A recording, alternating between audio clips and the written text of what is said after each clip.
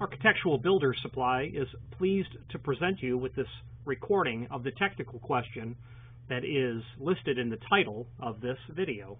This call may be monitored and recorded for quality assurance. Like 32 wide, and it's going to lay, weigh less than 150. Okay, so what are we working on? Okay, we got kitchen cabinets. We have a swinging door.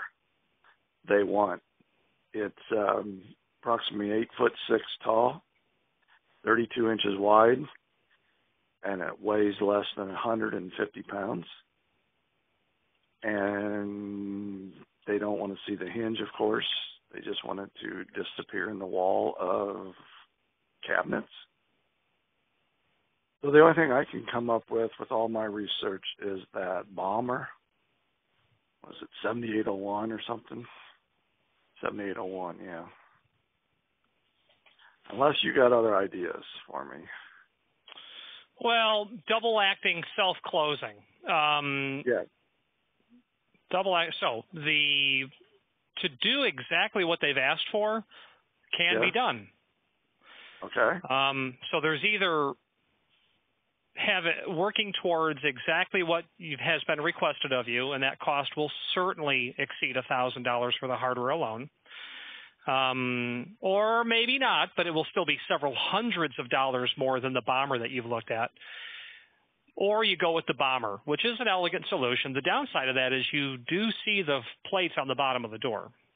Right, and I see there's one that I can paint. There's one that's primed or something to paint. Yeah, you can definitely buy buy those plates made of steel uh, that'll have a prime coat on them.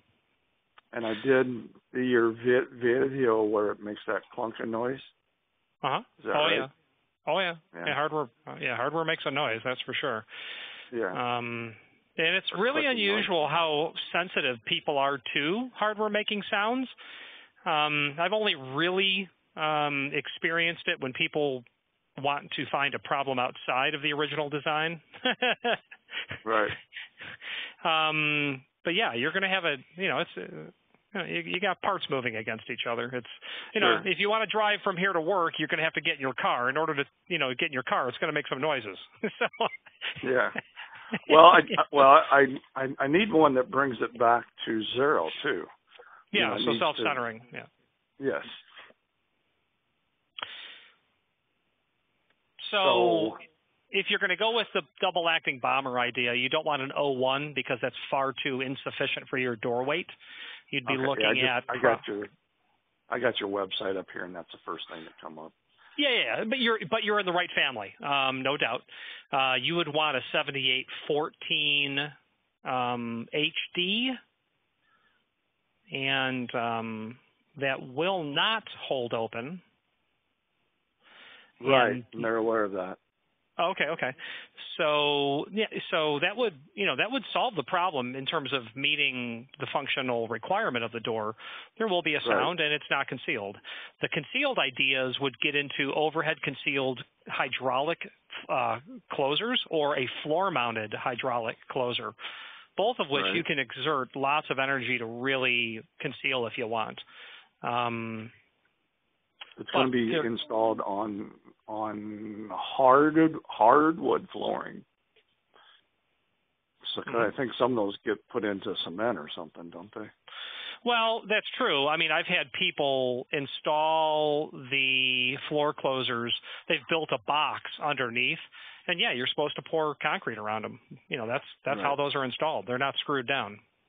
At the Mhm. same time, you're looking at a model that is, you know, you are asking a floor closer to carry a near insignificant amount of weight in terms of what they're capable of carrying. And I've had people literally create a box using structural lumber like timber strand and Sure. secure it down to there and didn't make any sounds, works great, has always worked for 20 years, that kind of stuff. So it's an option. Um, but you've really, really got to be intent on not seeing any hardware. Okay. But don't uh, I mean I've looked at some and we're getting into like a thousand bucks. You would be, yeah, sure. I mean, the lighter duty ones are less expen- uh, in the less expensive range, considering that floor closers like that, I've gone from, you know, seven, eight hundred dollar versions, and dormas are going to be in that range too, all the way up to ones that are well more than double or triple the cost, depending on the door weight. You got to really ask your client, listen, how severe do you want to go with this? Um, because if you can get underneath that floor, you could get an extended spindle and just drill a hole through your hardwood flooring so the spindle can come up and man, you're not mm-hmm. going to see nothing. The problem is you're going to have to really engineer how you're going to not only attach the closer body to the to your structure, but how you will take it out should you ever need to do so.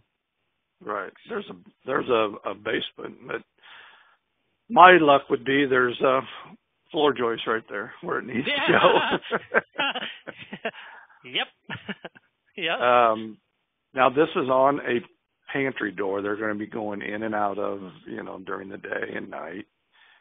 Um, my theory was just to go with the less expensive bomb Bommer, but I have one drawback. These doors, all my doors are going to be like the inset style, where there's only uh, like a sixteenth of an inch gap all the way around the door. Uh-huh.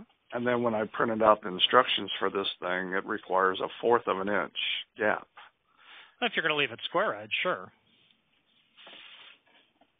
If you're going to leave it square, it says on the instructions to leave, you know, to do an inch and a half radius on the back of the door, and then yeah, still keep it an inch and a, or still keep it a fourth of an inch away from it. No, definitely not.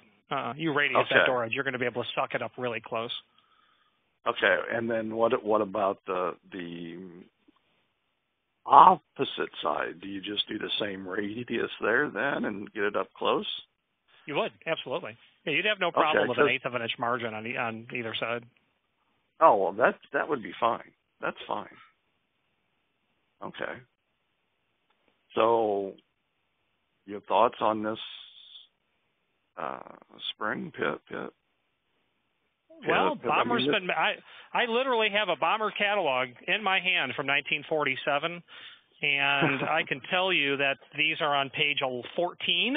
Um, sure, the design's changed okay. a little bit, but um, you know, my grand my great grandparents' home was built about 1943, and when I was really hanging around in the late 80s or mid late 80s with them, sure. um, mm-hmm. yeah, that door worked like the day they put it in. Okay, with with that hard hard hardware. Okay. Yeah. So you, what is you, what is the? Go ahead. You just get you don't use the 01. Use the 7814 HD. Yeah, 70. That's what I got wrote down. 7814 HD, and then what is the code for the one that's primed? Dash six zero zero. Six zero zero. Yes, sir.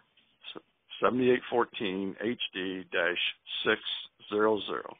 Yes, sir. On the money. Okay. And how long do those take to route to me, Illinois? Uh, what part of Illinois are you in? Uh, west central, or west as you can go. Uh huh. Yeah. Do, uh, they, well, do, do they ship out of Illinois or? No, I just ask because I I'm from Illinois. Um, and ah, I spent Quincy. a lot of time. Yeah, Quincy, yeah. So I uh, yeah I spent a lot of time going to a town called Kewanee. Um, is it still the 309 area code where you are? No, no. Okay. Like I said, I'm halfway. I'm uh, directly west of Springfield. Oh yeah, I right, got it. Yeah. Right along the Mississippi. Yeah. Um, you guys were pummeled this year with weather. There's no doubt. Yeah, yeah. We had some floods. It came up. Floods, cold, the whole nine yards. Cold. It was shitty. Sorry it was. about my language. It was. It was just. We got a nice day today. Uh, that might be the third one this year. Yeah, the summer is going to be, it's going to feel like it was only two or three weeks long and you're going to be back to yep. staring at Halloween. And yep. um, I've lived through four of the five worst snowstorms in the history of Chicago. I can tell oh, you okay. that there is, um, there is something positive to living in Illinois with winter, that none of it, all of it combined, does not equal a hurricane.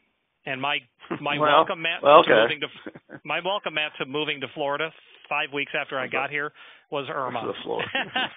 Irma. Okay. But the cold is brutal. So the answer to your question is Bommer shows it's in stock, so allow about a week. Okay. All right, and then you want me to just do it online here? No, I mean, well, you can, but on the phone's is easier to to uh, to process Good. an order. Good. I'm ready. Okay, stand by one this moment. thing going. Architectural Builders Supply hopes you have enjoyed this program.